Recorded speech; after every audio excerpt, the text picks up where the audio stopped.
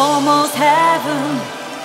West Virginia, Blue Ridge Mountains, Shenandoah River. Life is old there, older than the trees, younger than the mountains, growing like a breeze.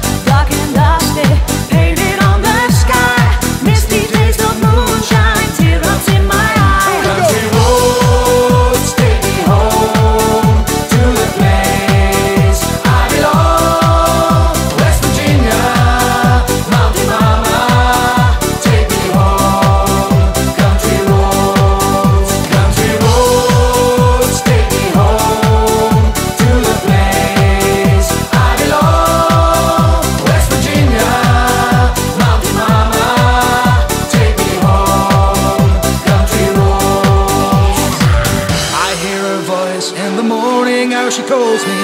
Radio reminds me of my home far away.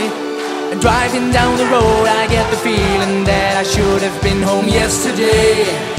Yesterday,